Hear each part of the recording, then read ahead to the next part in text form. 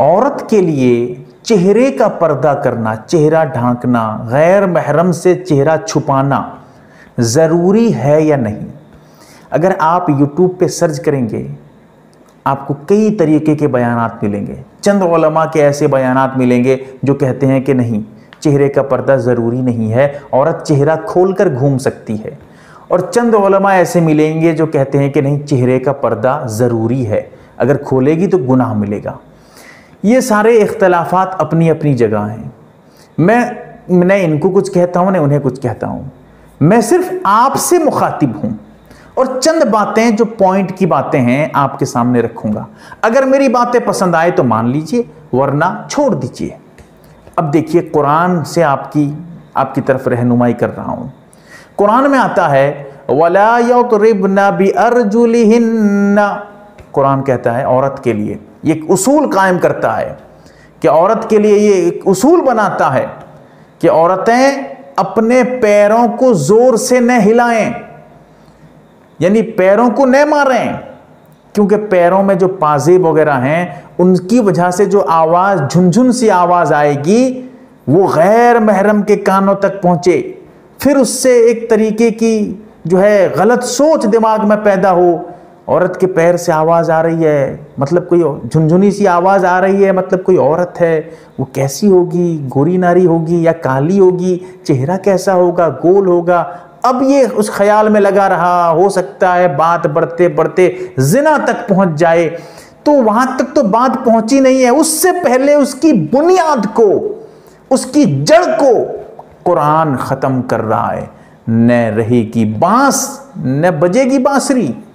जड़ खत्म कर दो बुनियाद खत्म कर दो मामला खत्म।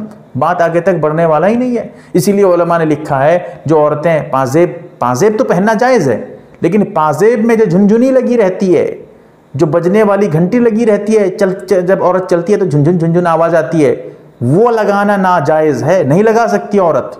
कुरान की इस आयत के बिल्कुल खिलाफ है वो अमल। इसीलिए नाजायज़ औरत के लिए झुंझुनी से लगाना। लेकिन हाँ अगर पाजेब पहनी हुई है कोई दिक्कत नहीं है। तो इसीलिए ये ख्याल रहे कि औरत के पैर की आवाज़, अभी वो भी आवाज़ जो मुनफसिल लगी हुई है, यानी औरत के जिस्म से कोई आवाज़ नहीं आ रही है।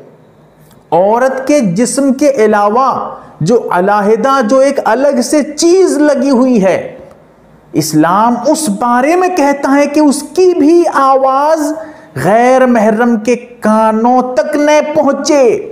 पॉइंट समझिएगा मसला ऐसे हल होगा कि आपको इस झगड़े में पड़ने की ज़रूरत नहीं होगी।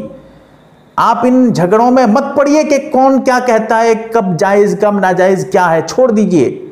अभी उसूली बातें अगर आप समझेंगे, कुरान के एतबार से, दलाइल को समझेंगे तो सब का सब दूध का दूध, पानी का पानी हो जाएगा। इसीलिए कुरान क्या कहता है कि कुरान इस्लाम यह भी पसंद नहीं करता है कि उस मुनफसिला चीज़ भी, उसकी आवाज़ भी गैर महरम के कानों तक न पहुँचे। तो इसीलिए गैर महरम के कानों तक औरत की आवाज़ कैसे पहुँची? गाना। औरत अगर गाना गा रही है, गाना तो हराम है गाना, लेकिन औरत गाना अगर गा रही है, किसी से बात कर रही है, बिला ज़रूरत ज़रूरत के वक्त तो बहुत सी चीज़ें जायज़ जायज़ हैं। ज़रूरत के वक्त अगर बहुत ज़्यादा ज़रूरत है तो वो तो हराम चीज़ भी हलाल है, सुअर का गोश्त भी हलाल है, वो तो एक अलग मामला है। बिला ज़रूरत, औरत की आवाज़ में भी पर्दा है। औरत की आवाज़ अगर बाहर निकल रही है, गैर महरम सुन रहे हैं, सुना रही है, बात कर रही है, फ़ोन पे बात कर रही है किसी से, सोच रही है कि नहीं, हम तो दूर दूर हैं, वो कहाँ सौ किलोमीटर दूर है, मैं कहाँ हूँ तो इसीलिए हम थोड़ी कुछ कर रहे हैं, हम तो बस बात कर रहे हैं, बात, आवाज़ का पर्दा ख़त्म हो रहा है, ये भी कुरान के अतबार से, ये तो अपनी आवाज़ है, वो तो पाजेब की आवाज़, पैरों की आवाज़ को कुरान कह रहा है कि कानों तक नहीं पहुँचे, क्या रहनुमाई देखिए ये तो आवाज़ की बात हो रही है। देखिए, पर्दे की बात हो रही है। कुरान यहाँ पर्दे की बात कर रहा है। कितनी गहराई से? बताइए, उसमें जो पाजेब से, जो पैर से आवाज़ निकलती है, उसमें औरत के लिए ज़्यादा खतरा है या चेहरे में? जो चेहरे के पर्दे पे बात हो रही है ना, जरा गौर करिए। उस पर ज़्यादा खतरा है या पर्दे, चेहरे का पर्दा न करने पे? तो ये कैसा इंसाफ होगा जो पैरों की आवाज़ को गैर महरम के कानों तक पहुँचने से रोक रहा है? और इधर कह रहा है, तुम चेहरा खोल कर घूमो ताकि चेहरे को और चेहरा ऐसी चीज़ है भाई, बड़ा खतरनाक है। हाथ, पैर, सब देख लिया जाए, आदमी को सुकून नहीं मिलेगा। जब तक चेहरा नहीं देखेगा, अब किसी से रिश्ता लगे। फिर आप जाएँ, चलो देखने जाएँगे, दुल्हन देखने जाएँगे। घर वाले दुल्हन देखने जाते हैं। पूरे चेहरे को सिर्फ़ चेहरे को बंद कर दिया जाए पूरा जिस्म हाथ पैर सब दिखा दिया जाए। कहेंगे नहीं अभी तो कहाँ? ये तो कुछ नहीं है। चेहरा मुझे दिखाइए। चे, चेहरा देखूँगा मैं। क्यों? भाई सब देख हाथ पैर तो देख लिया। हाथ ज़्यादा बड़ा है या चेहरा वो ज़्यादा बड़ा है? बताइए। अब चेहरा क्या देखेगा तू? नहीं नहीं चेहरा देखना है मुझे चेहरा कैसा है? आदमी औरत का हाथ देख लेगा। मिसाल तौर पर गैर महरम जा रही है। हाथ देख लिया। हाथ अगर गोरा है तो चेहरा कैसा होगा? जरा चेहरा देखेंगे। चेहरा। सब चेहरे के चक्कर में।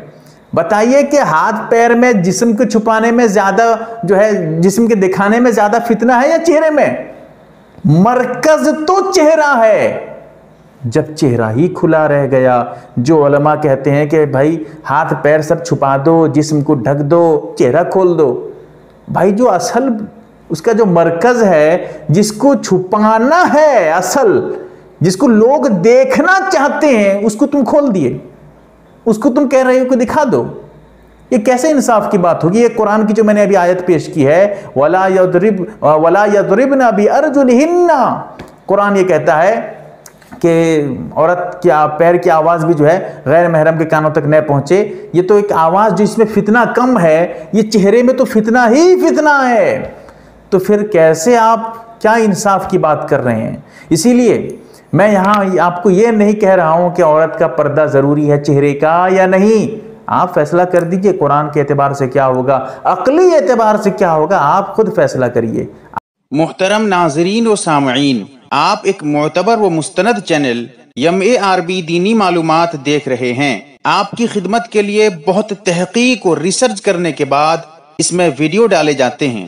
अल्लाह से दुआ है ये चैनल इस्लामी ज़िंदगी में आपके लाहद काम आए। आमीन।